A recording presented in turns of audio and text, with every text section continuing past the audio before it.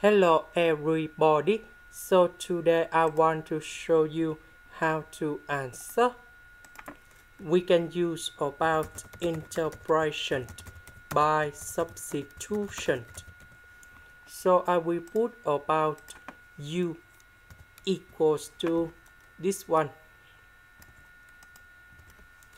Later that we need to do first the derivative for the both side and we have like this. Because we have negative y so when we do first the derivative of this one we keep the same e to the power of negative y.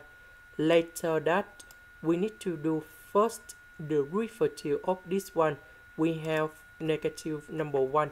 That's why we have this one because we don't have the negative side in here.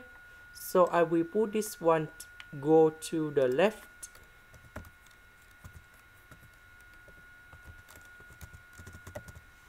And this one that is this one.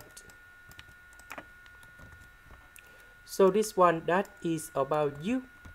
This one uh, over this one in here. That is this one now we need to transform this one into this one.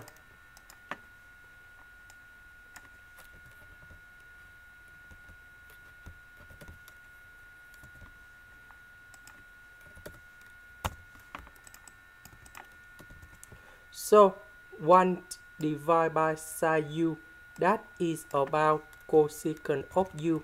But we have the power number 2 we write like this the integration of this one that is about cotangent u and I will put about C.